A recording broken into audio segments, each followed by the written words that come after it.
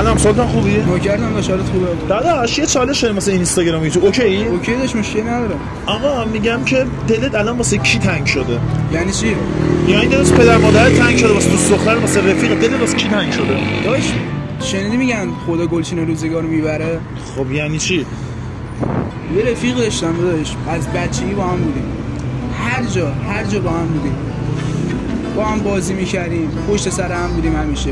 هر وقت حالم بد بود اون کنارم بود. همه چی. همه چی. چی سه؟ سال پیش سرطان گرفت. داداش ببخشید نمی‌خواستم ناراحتت کنم. شرمنده. داداش خوبی؟ قربونت فدات شم.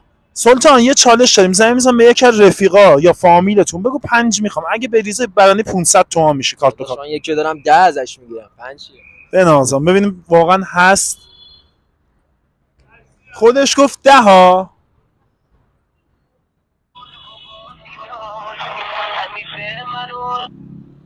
الو.